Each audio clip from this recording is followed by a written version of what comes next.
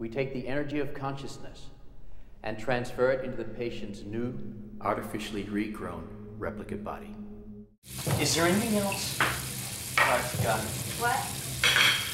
Is there anything else that I have forgotten? What did you ask me to do this morning? Everything happened so quickly, I didn't even realize Stuart had come out of the road. He must have panicked, forgotten what to do. I saw him, trying to walk out. So he could have got trapped between two rocks? Yeah, maybe. Didn't you tell your mate not to walk in water deeper than his knees? He panicked. So you didn't actually see him go under? He just disappeared.